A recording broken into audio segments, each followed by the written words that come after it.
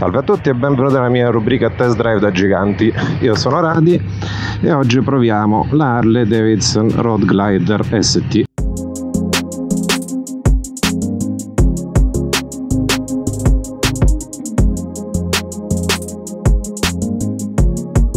Allora, intanto iniziamo dicendo che sono un motociclista molto alto, sono 1,97 m Normalmente preferisco guidare moto un po' più alte, più piccole, più maneggevoli, però oggi volevo provare, visto che c'erano in prova qui le Harley, questa Road Glider ST che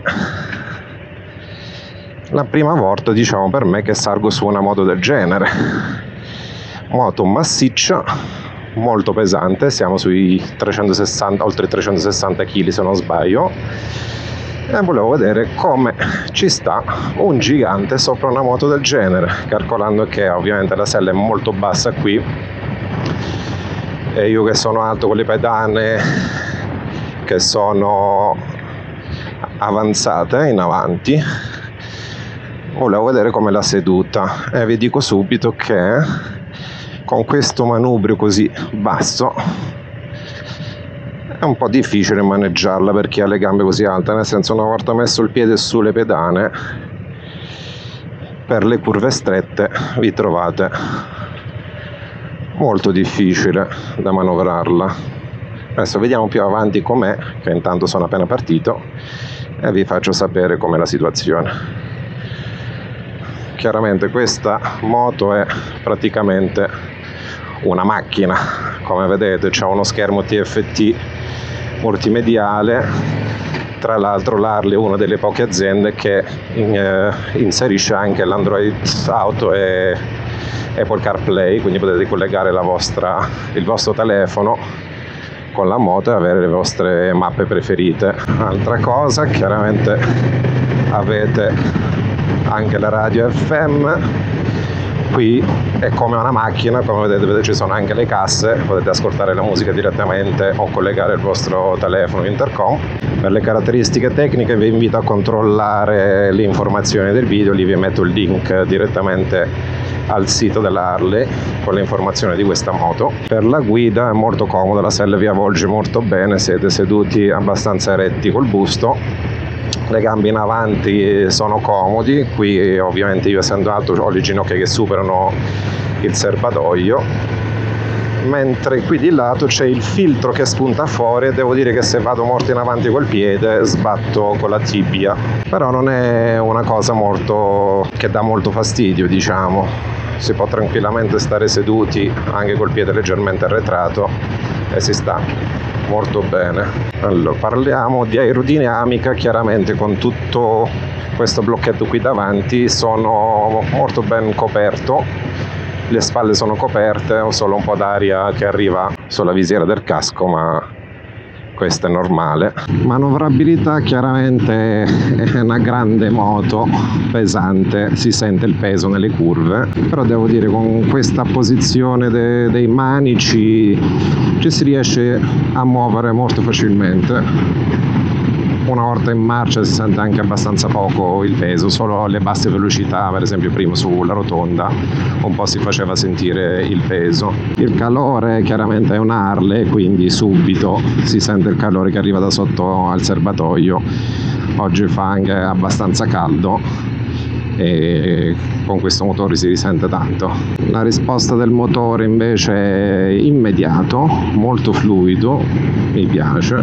Qui abbiamo il ride by wire, quindi anche la, anche la risposta de, del nostro acceleratore è immediato, è molto comodo da usare questa chiaramente è piena di elettronica, è come una macchina, abbiamo ABS, cornering ABS, traction control, traction control anche in curva, poi abbiamo anche il controllo e pressione delle gomme, qui di lato molto bello in analogico abbiamo la batteria, l'indicazione delle batterie, dall'altro lato abbiamo il, la benzina, in mezzo abbiamo il, il contagiri e il contachilometri questa moto è abbastanza costosa diciamo che siamo oltre i 33.000 euro. E il prezzo va a salire chiaramente una volta che si vanno a, comprare, a mettere altri option al personalizzare la moto includendo la messa in strada e l'immatricolazione si superano i 40.000 euro.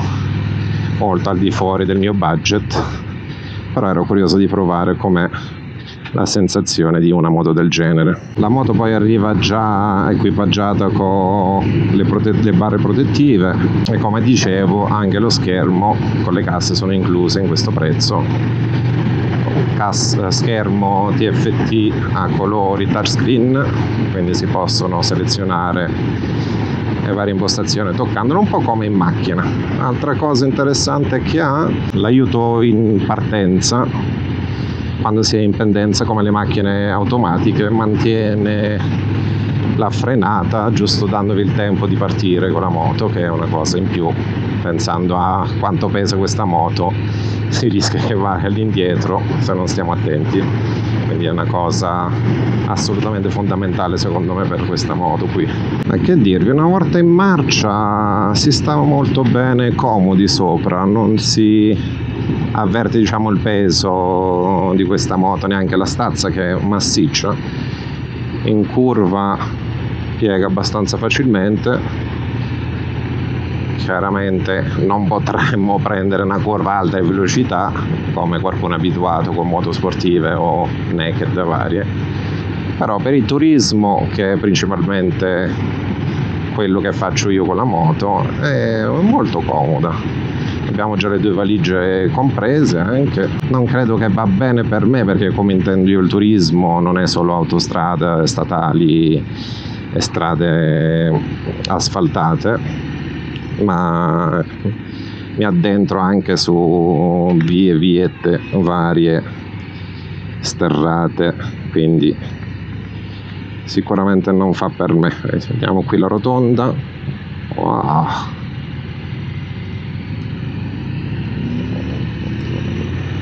molto bene. E come tira questo motore questo è un 2000 questo è il 117 eh, dell'Harley e si fa sentire come se si fa sentire. Appena tocchiamo l'acceleratore anche ai bassi regimi subito sale.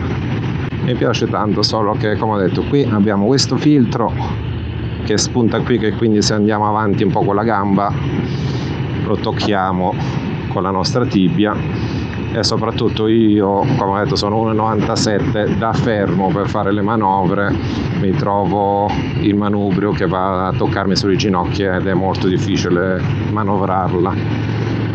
Poi anche il piede a terra quando lo metto da fermo, essendo più alto, come ho detto, lo devo piegare tanto e non mi sento molto comodo e stabile sopra per manovrarla. Adesso questo qui ha il cupolino così basso che credo comunque si può comprare anche un cupolino un po' più alto così da coprire bene anche il casco. Io che sono alto non mi, sta, non mi intralcia per niente la visuale quindi se lo alzo di un paio di centimetri è uguale mi ritrovo molto comodo. Mentre la copertura dal vento come ho detto è pazzesca, è spettacolare ma comunque con tutta questa carena davanti difficile che non, non, fosse così. Poi non lo so, adesso non ho tempo per mettermi a giocare con lo schermo, ma comunque penso si può anche regolare un attimino le varie impostazioni come il freno motore, cose varie, perché in questo momento per esempio se scalo di marcia ho un freno motore abbastanza aggressivo e quindi questo penso che si può regolare nello schermo interessante anche l'accensione che è questo qui pomello basta girarlo e si accende lo schermo la chiave è keyless abbiamo invece il blocca tasto blocca sterzo che è anche il blocca dello, del tasto d'accensione. Poi qui sui due lati sotto le casse abbiamo un compartimento due oggetti da entrambi i lati su questo di destra c'è anche la presa usb come dicevo si può collegare il nostro telefono così avremo Android Auto o Apple CarPlay sullo schermo. Interessante qui mi sembra questa è una presa a 12 volt quindi abbiamo sia l'USB che la 12 volt per ricaricare i nostri telefoni o vari oggetti. Però devo dire la fluidità del motore mi piace tanto sia nelle cambiate nelle accelerazioni è pazzesco. E niente questa è la prova per i giganti come avete capito. Nella moto ci si sta bene il ginocchio è un po' troppo in alto per me quindi un po' di problemi nelle manovre da fermo soprattutto perché si va a toccare col manubrio e il ginocchio. Altrimenti si sta molto comodi sia sulla sella sia sulle pedane tranne il filtro qui che esce che spunta di lato quindi ogni tanto mi capita di dare una botta con la tibia altrimenti per il resto è una gran bella moto. Sicuramente se facessi solo strade asfaltate non mi dispiacerebbe avere questa Harley. E niente che dirvi questo è il breve video su questa moto. Se vi è piaciuto il video come sempre vi invito a mettere un mi piace e iscrivetevi sul mio canale. E con questo io vi saluto ci vediamo alla prossima. Ciao